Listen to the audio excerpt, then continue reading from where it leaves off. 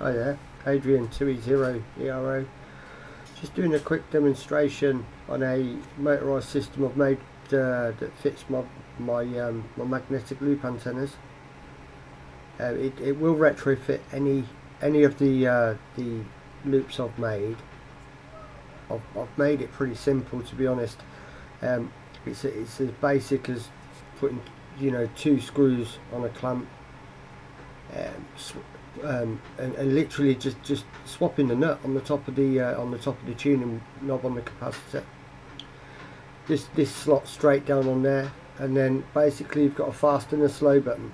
So it's a geared motor, so you you, you can. I'm actually tuned on 20 meters at the minute, so I'm just going to put my Icom on 40 meters, and then hopefully we'll be able to hear it tune. So I'll uh, I'll without spin it round. You can probably hear it coming in now. Once you get kind of close to where you need to be, there we go. Once you get close, then just press press the, the, the next button, and hopefully you can hear the antenna tuner. It's just tuned it. So um, and then we'll go back to 20 meters, just just just for a, for an example, um, and for demonstration.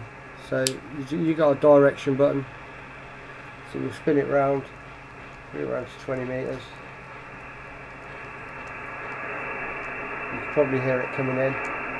There you go. I, I might have gone past it there. I'll just click tune. No, so I've gone past it. So just flip the switch, use the slow button, bring it back a little bit. Other way.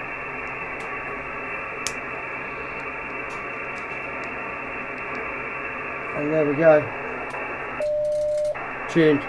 So it's as simple as that really. Um, I hope you find this demonstration useful. Any questions please ask in the uh, in the comments below.